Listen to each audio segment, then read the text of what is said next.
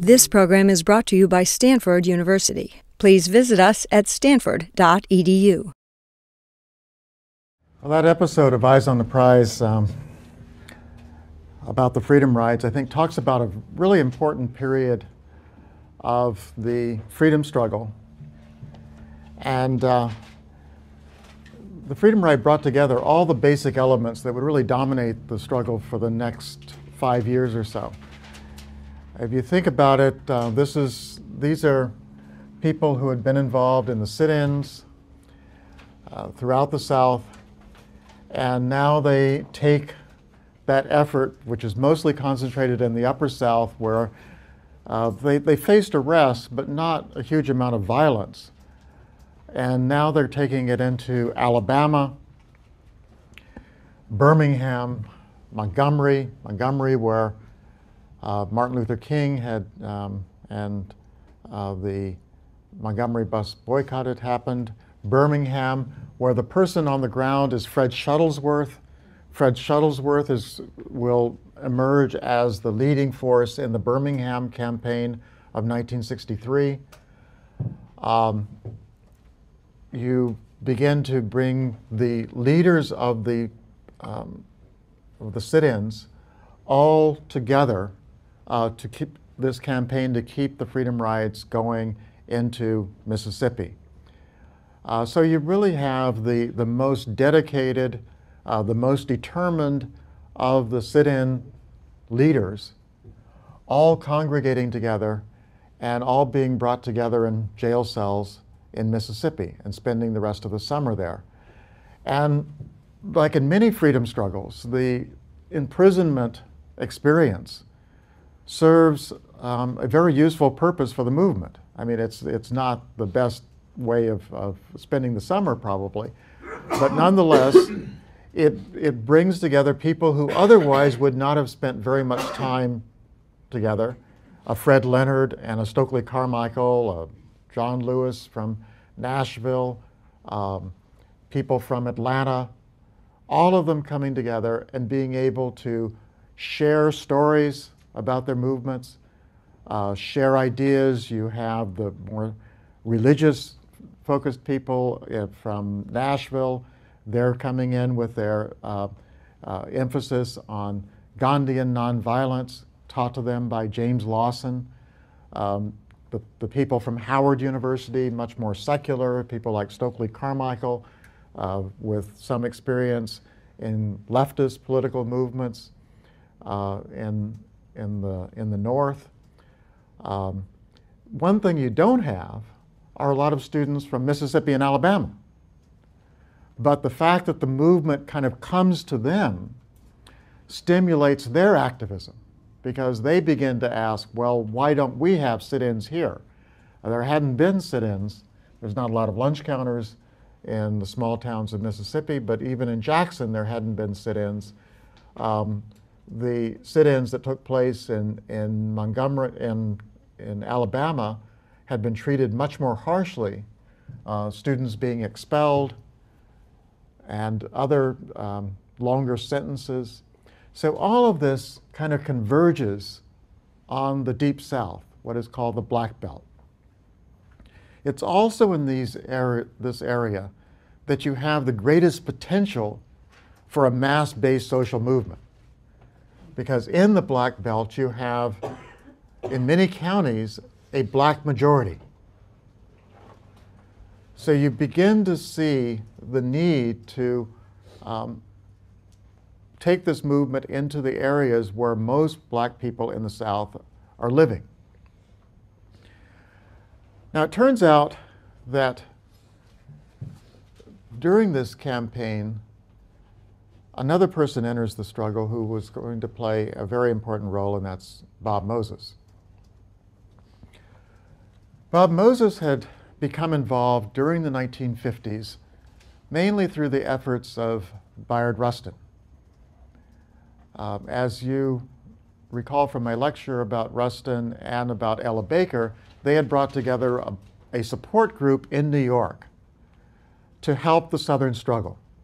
They had established an office called In Friendship, Um, and Bob Moses, as a school teacher, had come to volunteer his time. Uh, from his memory of that time, it was basically stuffing packets of mail, helping with um, fundraising events, just doing whatever he could um, as a, a, math teacher at Horace Mann School.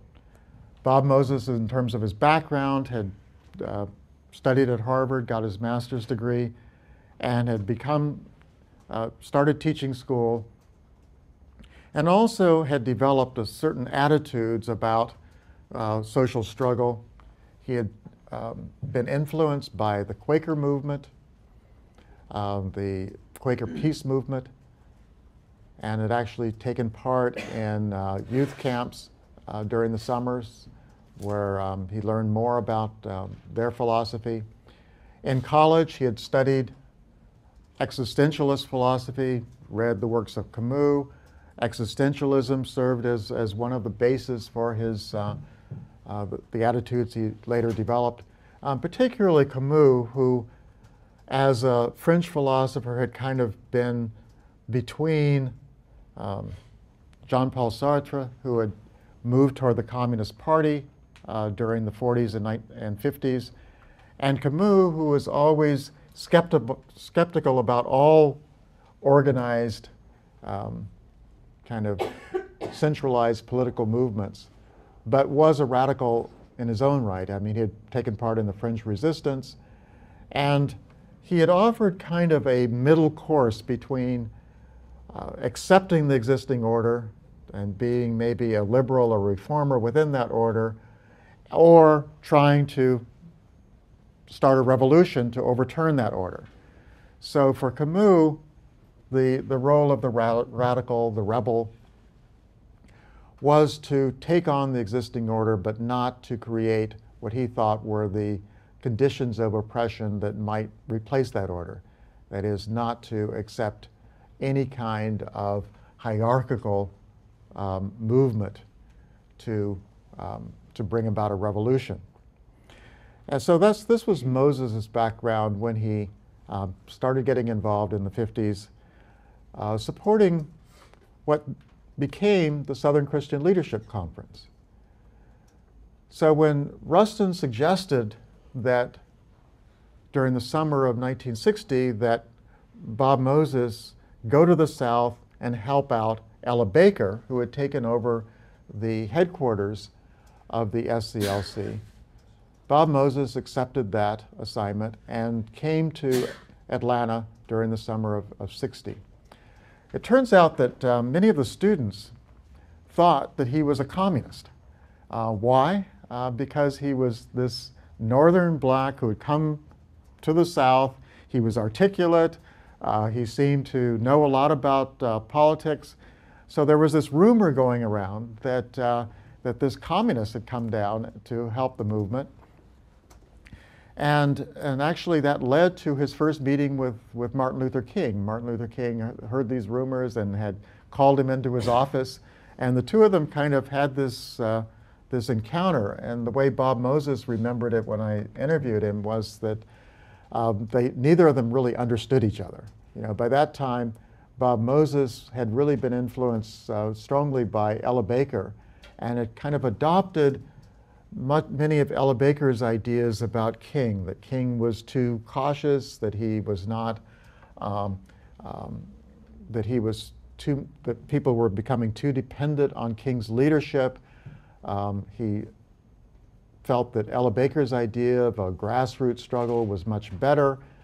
And by this time, this is the summer of 1960, SNCC is actually meeting or at least has their, their own headquarters in a corner of the SCLC office. And Ella Baker is being pushed out of SCLC, and she's becoming much closer to the young students in SNCC and beginning to advise them.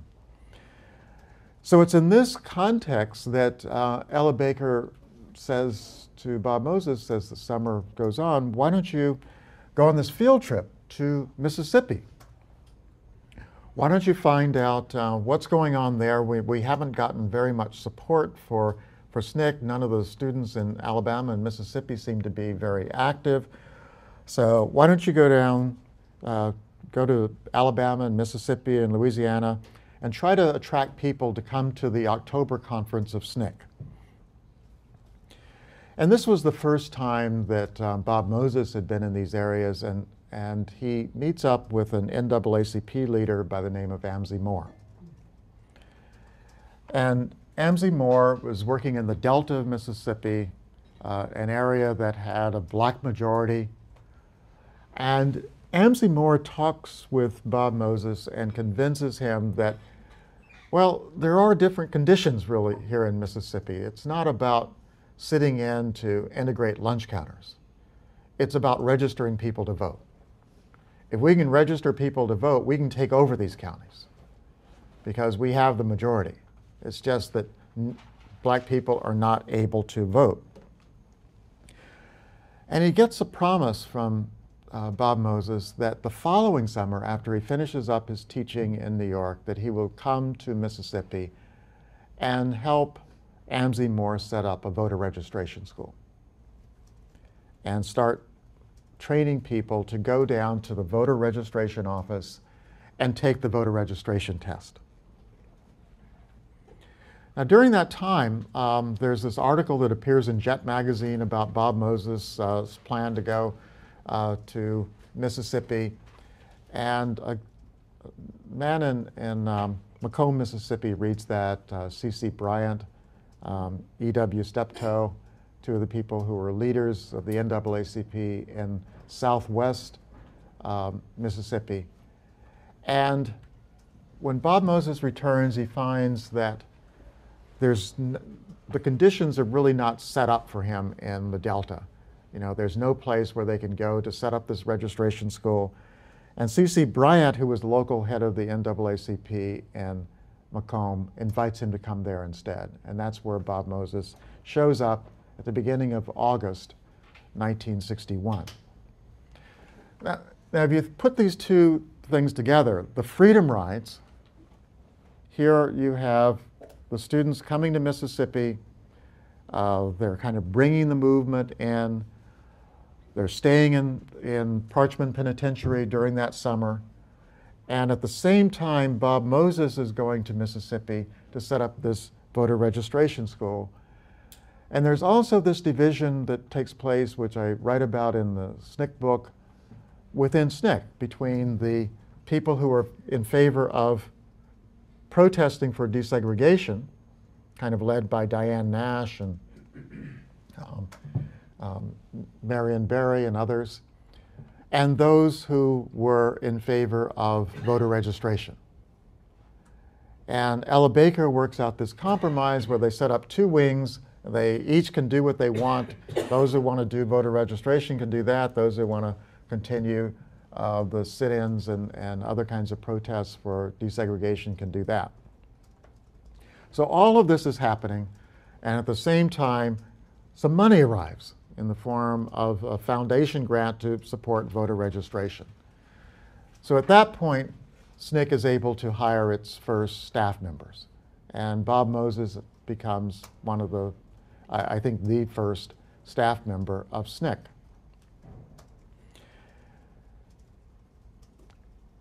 And McComb becomes the center, Southwest uh, Mississippi becomes the center of a new struggle.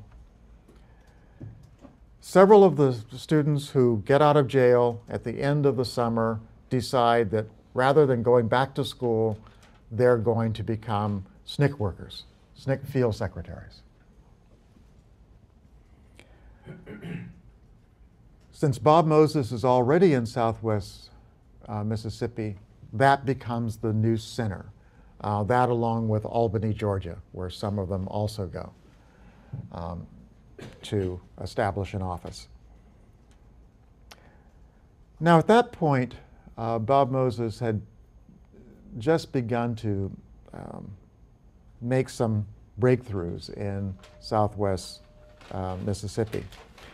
And fortunately, we have kind of a, a, almost a diary of his activities once he arrived in, in McComb. And just a, a little bit of the flavor of that.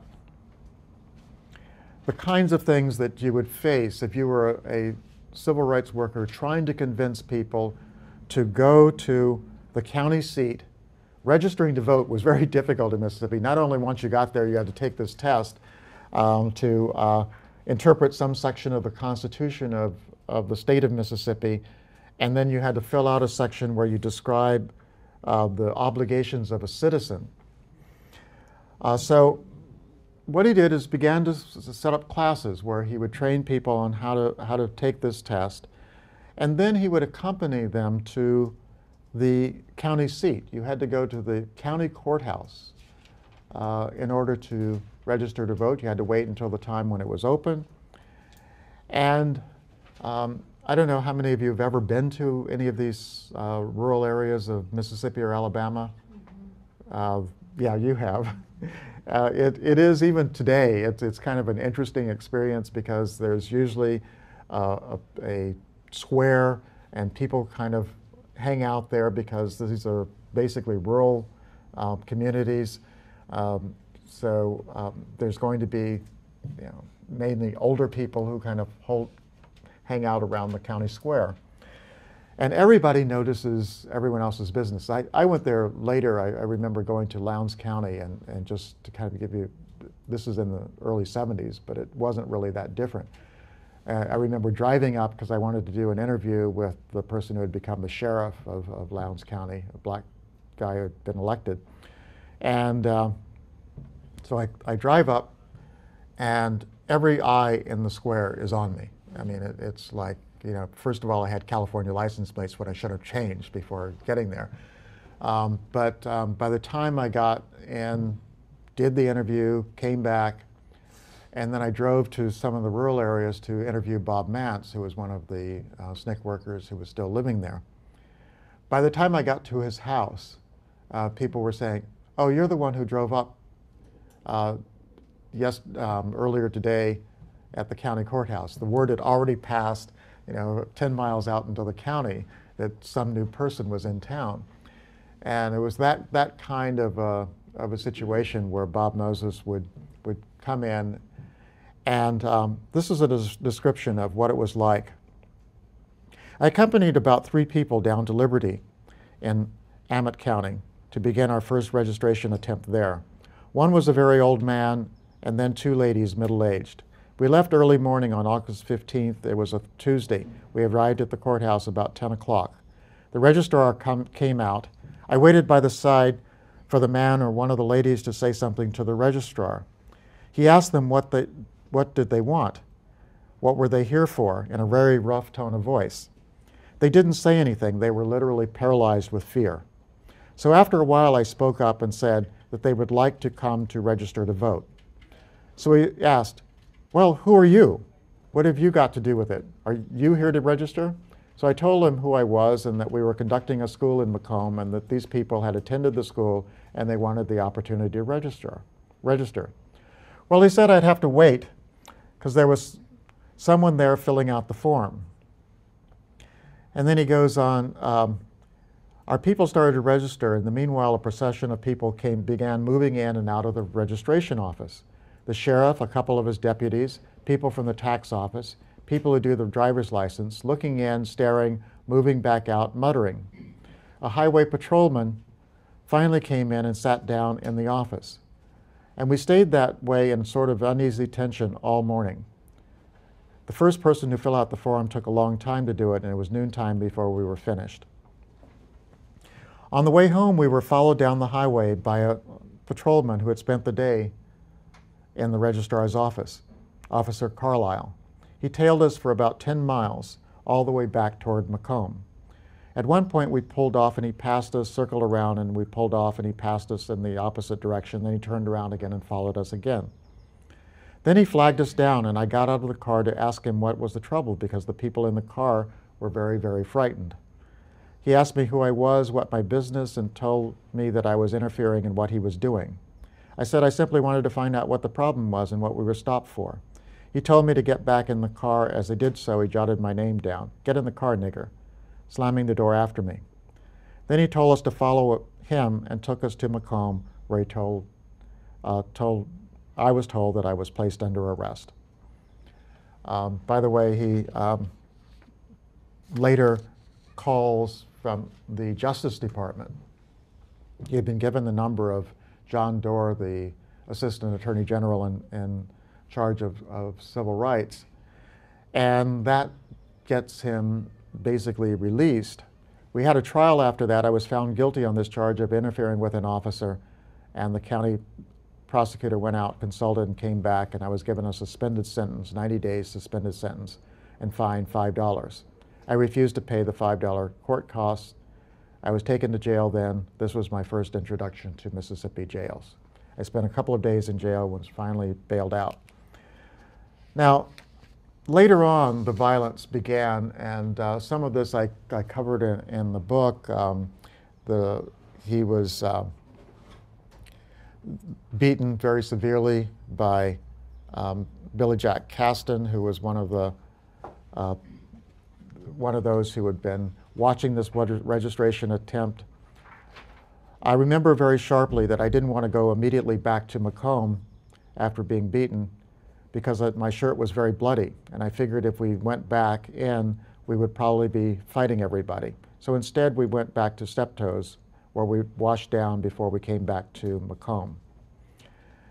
Um, by the way, one of the things he, he says he was concerned about was that if people saw him with his bloody shirt, that then that would basically discourage them from ever going to register uh, to vote. Um, all of this kind of culminates in several incidents where two other SNCC workers are, are beaten up um, very severely. And um, this leads to a, an effort on the part of the young people in McComb to start their own movement. They start a sit-in movement. Uh, they, they feel that the freedom riders have come and now it's time for these young teenagers to uh, start their own movement, start protesting against segregation. This was against what uh, the NAACP leaders want because they had brought Bob Moses and SNCC in to um, help their voter registration campaign. But nonetheless, uh, Brenda Travis, a 16-year-old uh, girl in the high school, uh, was arrested for leading a sit-in. She was um, thrown in jail and um, expelled from school. And this leads to a um, division within the black community because they didn't want the young people involved in um, the sit-in campaign. They were frightened for them. They felt that they were facing enormous potential for violence in, um, in Mississippi. And then finally, on September 31st, uh, 1961, Herbert Lee is killed. Uh, Herbert Lee had been one of the people working with um, Bob Moses and, and the workers. Um, he's not only killed, but he's killed by E.H. Hurst, who happened to be a Mississippi state representative, that is, a politician. And he's killed in front of, in broad daylight, um, in front of about 12 witnesses. Um, before the day is done, he's uh, absolved by a coroner's jury who, who um, um, argue that he had been threatened by Herbert Lee. Now, it turns out that several of the black witnesses to uh, the killing of, of, Lee wanted to come forward. They were frightened to do that. Uh, Bob Moses spends much of early October uh, searching for these people, trying to get them to tell their stories to him. Uh, they finally agree to tell basically what happened. Um, and he said uh, that the story was basically this. They were standing at the cotton gin early in the morning and they saw Herbert Lee drive up in his truck with a load of cotton. E.H. Hurst followed him in an empty truck. Hurst got out of his truck, came to the cab on the driver's seat of, of Lee's truck, and began arguing with Lee.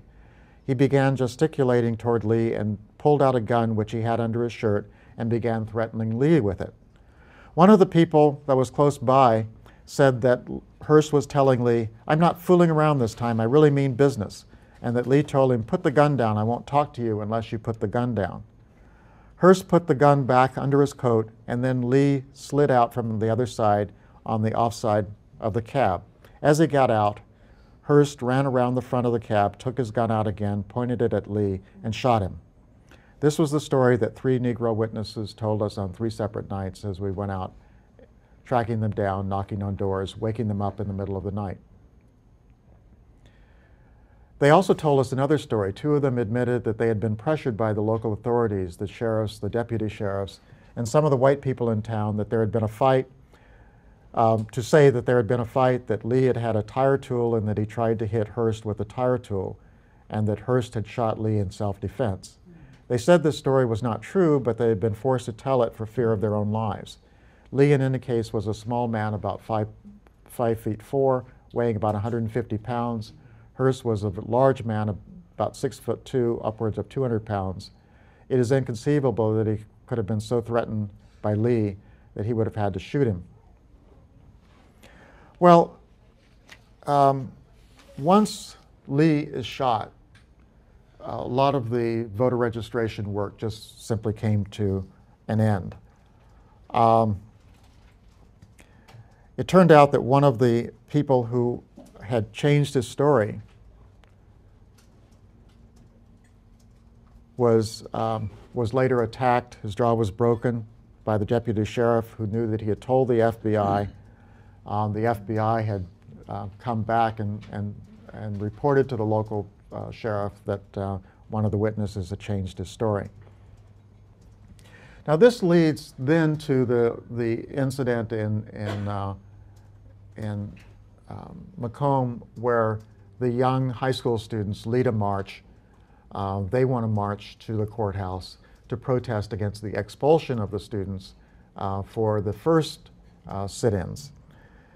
And this leads uh, to a decision among the SNCC workers. And it's a crucial decision that has a lot of uh, bad consequences for their work. They have to decide when the students come into the SNCC office and begin drawing up uh, posters and other things and saying that they're going to march to the county courthouse, which is five miles away. The SNCC workers have to decide what they're going to do. They, they don't want to participate in this. They know that this is um, perhaps going to be ill-fated, but they decide that they can't refuse to participate because the students are going to do it anyway. And they end up taking part in this aborted march, which never gets out of McComb. They're attacked by a mob. Uh, the uh, students are arrested, expelled from school. The SNCC workers are thrown in jail. Among the charges are contributing to delinquency of minors, uh, which uh, very ends up a very serious charge. And they have to shut down their voting, uh, voting rights activity.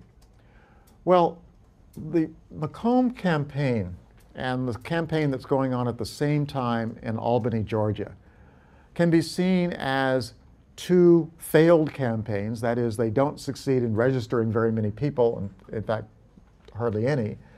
Um, they face an enormous amount of violence, but they do succeed in bringing together the core of the staff that is going to take the um, voting rights campaign into the black belt. In both McComb and later, after they leave McComb, go to Jackson, um, Bob Moses begins to bring together the basis of his staff, uh, all recruited from Mississippi.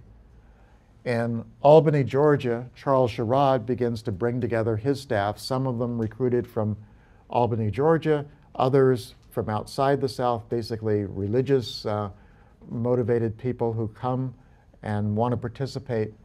And these two centers, Southwest Georgia, the Delta of Mississippi, become the crucial places where the next stage of the, of the movement takes place. Um, it's there that you begin to see a um, full-time staff of field organizers begin to develop the tactics that um, begin to show some success, that is, working with local leaders, uh, people who have been usually involved with the NAACP since the 1950s, uh, trying to get these people to support them by taking them into their homes, uh, by getting local young people active in the movement. And um, this effort, I think, is, is really what the struggle of the 1960s was um, centered around. Uh, for the rest of the decade, the people who come and begin to work full time in these communities, um, this is something that is new in the civil rights movement. Uh, the NAACP had no equivalent of it. SCLC has no equivalent of it. Uh, the idea of organizers moving into communities and making a commitment to stay for a long time was something uh, new and different, and it had, uh, I think, a lot of permanent consequences. One of the consequences is that many of these people are still there. Um, if you go to Mississippi and Alabama, especially the smaller communities, people like Bob Mants um, are still living there. Uh, Charles Sherrod is still living there. Uh, some of them have now moved into political uh, positions, um, you know, county offices, um, as they succeeded in, in registering the black vote. Um, most of them um, are strong believers in kind of the Bob Moses approach to organizing. Uh, this approach, uh, which I think I said in the previous lecture, is very much influenced by Ella Baker and the notion of, of working yourself out of a job, trying to find local leaders to carry on the struggle, seeing yourself as a catalyst rather than a leader. You know, all of these um, approaches, I think, were refined and developed in the rural areas of Mississippi and Alabama. A little bit about Bob Moses and what happens to him. Uh, he stays in, in Mississippi. Uh, in 1962, the various civil rights organizations in Mississippi get together and form a group, an organization called the Congress of Federated Organizations, COFO. COFO became the way in which the NAACP, CORE, SCLC, SCLC, which really doesn't have very much impact there, um, and SNCC cooperate and becomes the channel through which money to support voter registration arrives in Mississippi. Bob Moses becomes the director of COFO's uh, voter registration effort. And SNCC really provides the, the uh, bulk of the organizers on COFO's staff.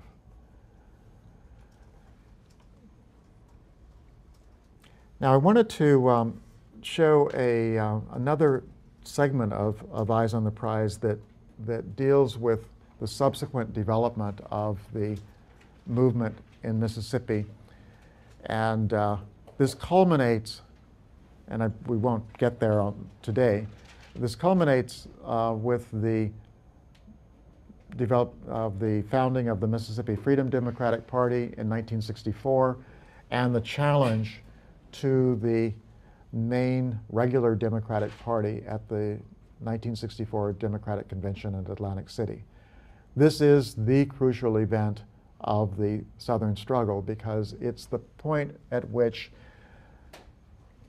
the proponents of voter registration place their case before the liberal forces in the Democratic Party, and they basically say, you have a choice to make. You can either support the regular Democrats, which is an all-white political party, or you can support the Freedom Democratic Party, which we've established and it's open to anyone who wants to join, but it's not the official party. of the state of Mississippi. And by placing that choice between before the national administration, before Lyndon Johnson, they forced Johnson to take a stand. Then, who knows what happens at that? You've done your readings, right? Yes. Like he decides that he wa- he tries to make compromise that they get two at-large seats. Um, Okay. Yeah, he offers these two at-large seats at the Democratic convention. Uh, what does the Democrat, Freedom Democrats say to that? they're like, we don't want no two seats. Yeah, I mean, they, they reject the compromise. This becomes kind of the, the crucial decision because from that point on, you begin to see a, a real division. Bob Moses um, moves from Mississippi to Alabama. Stokely Carmichael goes to Lowndes County in Alabama. Uh, there they form the Freedom Demo- uh, the Lowndes County Freedom Organization, which becomes the Black Panther Party, um, and that is the first political party independent of the Democrats, and it represents a new thrust in black politics. And it's basically saying, yes, we have mobilized these people in the Black Belt of Mississippi, we've brought them into the political process, but we don't want to bring them in simply as part of an untransformed Democratic Party. Um, we want to build a new and different kind of political force. Uh, Bob Moses himself, by that time, gets drafted and uh, uh, has to decide what to do.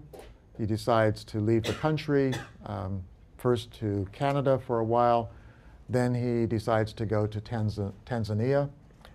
Uh, leaves uh, the United States, uh, or at least uh, for Tanzania in the late 60s, stays there, um, actually raises his family there uh, through the mid 1960s and returns in the late 60s uh, to the United States. So he kind of takes himself out of the uh, freedom struggle, in part for reasons of the draft, but I think in part also because of the philosophy. If your job is to work yourself out of a job, one of the things that he felt was um, um, bad about the outcome of the Mississippi struggle is that people became dependent on him. And the only way he could figure to get out of that dependence was to take himself out of the Mississippi movement and allow the people that he had worked with to assert themselves um, as independent leaders. Let me show you a bit of the Mississippi part of this. Unfortunately, are there any questions while I'm setting us up? Because it always takes a little bit of time to get through the menu. Yeah. Yeah. The um, freedom, freedom riders were jailed in um, Parchman Penitentiary, what was the interstate? Was that like interstate contact or something that came out of that? What was their victory? Yeah, it, it goes back actually to the 1940s when um, there had been, uh, Irene Morgan had, had pushed the issue of can there be segregation in interstate commerce? You know, the idea was that under state law, under the Plessy decision, it had been possible to have segregated facilities as long as they were equal. But if you're going in interstate commerce, the argument was that that should be a federal jurisdiction. If you're traveling between states, you shouldn't be bound by the segregation laws of a particular state. So there had been a Supreme Court decision in favor of desegregation, but it had never been enforced. So then we jump ahead to the freedom rides. Well, they want to see that in- decision enforced. But it takes a federal agency to enforce it. And the, the Kennedy administration was not enforcing it. They went finally to the Interstate Commerce Commission and said, we want a ruling enforcing this decision. But that ruling doesn't come until October of 1961 after most of the freedom rides are over. After that, then it was still a question of how do you actually enforce this on the ground? And, um, and part of that happens in places like Albany where people, the, the freedom ride idea continues well into the 62, 63, um, really until 1964, the Civil Rights Act, uh, where um, students from Howard and other places would find segregated restaurants and would go there in order to uh, um, test these facilities. And this was this kept going on, I think, you know, well into 64. I think some of you already know the um, class on Thursday will be in Wallenberg, um, and it'll be a guest lecture by Vincent Harding, who is uh, a colleague, was a colleague of Martin Luther King, is going to be talking about his relationship, uh, his reflections on, on Martin Luther King, and particularly uh, the uh, Riverside Church speech, uh, anti-war speech that uh, King gave in April of 1967. Uh, Vincent Harding, as well as Clarence Jones, were um, among those who helped King write that speech. so I, you're welcome to um, to invite other people to come. That's why we're, uh, we're opening it up to other uh, CSRE classes. And uh, there will be a luncheon afterwards up here on the third floor. Uh, so um, you can get your lunch and also have a time to talk with him more personally. Um, one thing I wanted to, to mention about Bob Moses, anyone know what he's doing now?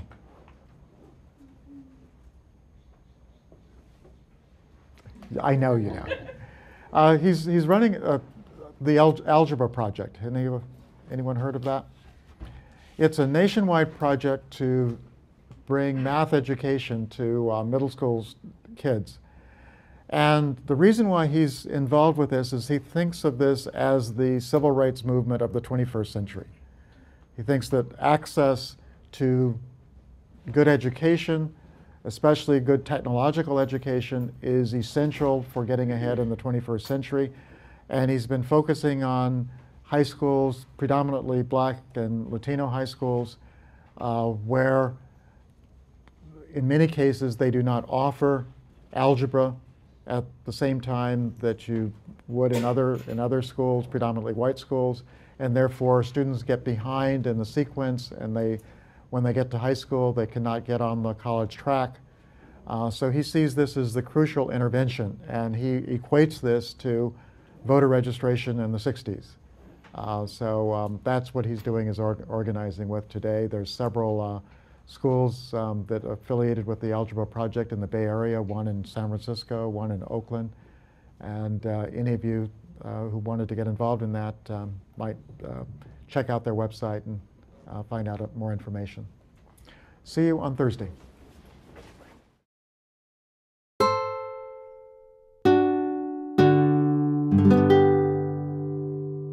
The preceding program is copyrighted by Stanford University. Please visit us at stanford.edu.